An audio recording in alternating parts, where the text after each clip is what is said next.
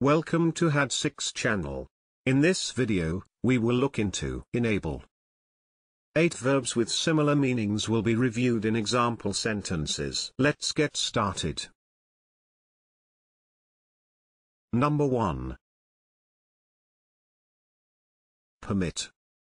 Which means officially allow someone to do something. Permit.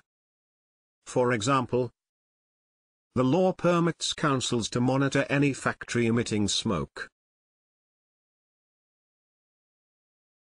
Number 2. Equip.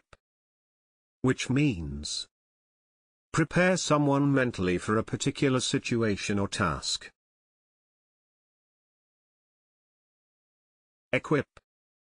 For example, I don't think he's equipped for the modern age. Number 3. Empower. Which means give someone the authority or power to do something. Empower.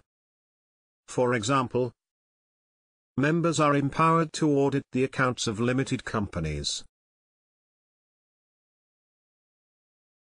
Number 4. Facilitate. Which means make an action or process easy or easier. Facilitate. For example, working in pairs appears to facilitate learning.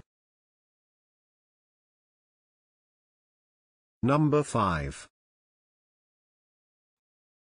Entitle. Which means give someone a legal right or a just claim to receive or do something. Entitle. For example, this pass entitles you to free entrance to the museum.